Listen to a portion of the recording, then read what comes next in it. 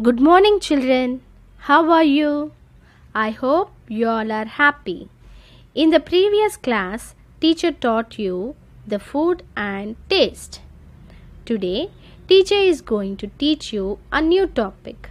Open your Googolplex Speak English book, Beginners, Level 1A, Unit 8, page numbers 41 to 43.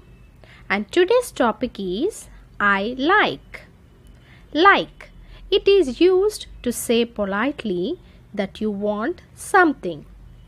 We use like to talk about things or people which we enjoy or love.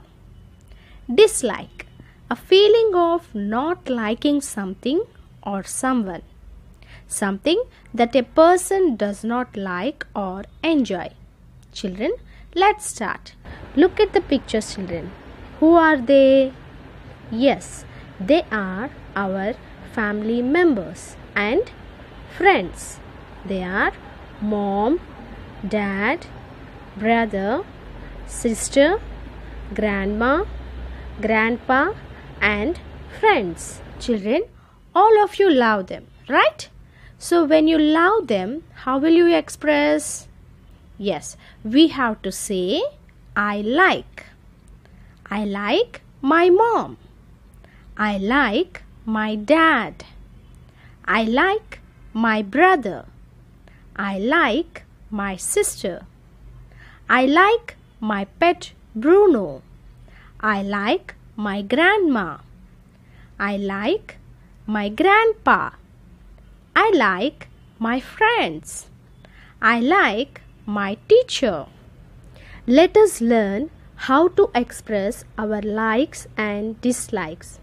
What is this, children? Yes, it is a pizza. Do you like pizza? You should say, Yes, I like pizza. If you do not like pizza, you should say, No, I don't like pizza. Now, what is this? Yes, this is milk. Do you like milk? Yes, I like milk. No, I don't like milk. Do you like ice cream? You should say, Yes, I like ice cream. Do you like popcorn? You should say, Yes, I like popcorn. Do you like me?